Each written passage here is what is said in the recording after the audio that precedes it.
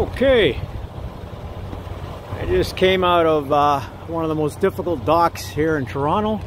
These buildings weren't here last year. That's where you uh, Redpath used to be, down at uh, Queens Quay in Toronto. And So, I just completed the delivery and I put my truck in the door one, which is not normally used. We usually use door two always, so it's a little bit easier to get in there.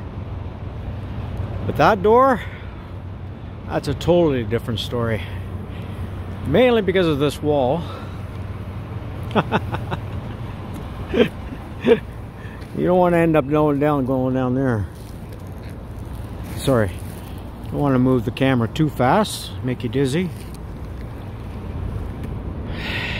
So, I must confess it took me two tries to get in two shots. A little upset with myself, but oh well. so if you haven't seen Toronto for a while, here it is, gentlemen. I haven't been down here for months, maybe over a year.